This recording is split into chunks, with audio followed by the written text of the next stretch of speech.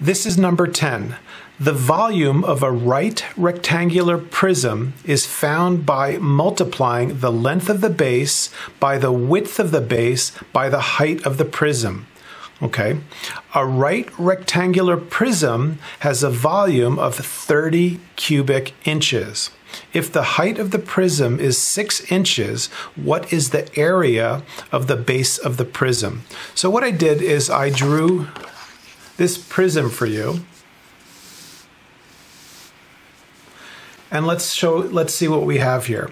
So, a right rectangular prism means that every angle is a 90 degree. It's a perfect square.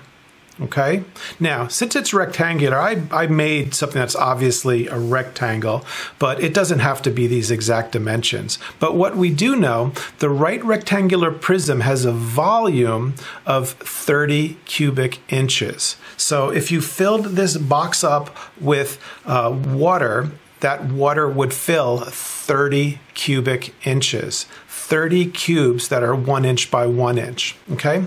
If the height of the prism is six inches, so from here to here, here, let's make this look nice.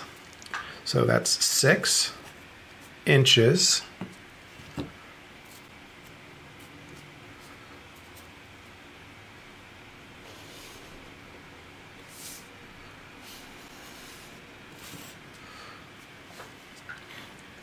what is the area of the base? The base is the bottom. So I use these dashed lines to show you that the prism is sort of like a crystal that you can see through.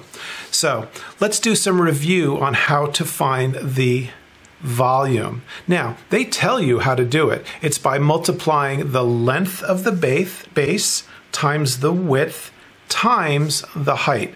So we have L, W, and H. So if you knew these three, you could get 30. But we only know this one for sure, and the total volume is 30. So let's do some math. So length times width times height equals 30. Now, we do know the height of the prism is 6. So that means that L and W is unknown. So we have 6 times these two numbers together will give us 30. Now the nice thing here is they're not asking you to tell individually what these are. They're saying together we have to figure out the area of the base. We have to find out how much space this area is, this two-dimensional shape, this rectangle, what is the length times the width. So all we have to do is we have to find the number that we can multiply 6 by to get to 30. And to do that, it's just straight division. So we take 30, it goes in the house, and then the 6 goes out. 6 goes into 30 five times. 5 is the area of the base. And if we look over here, we have 5 square inches.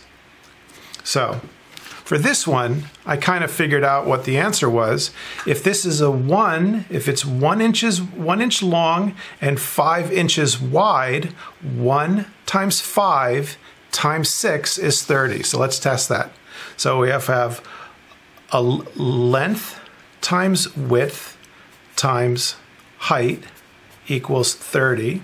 We knew that the height was 6, the length is 1, and the width is 5.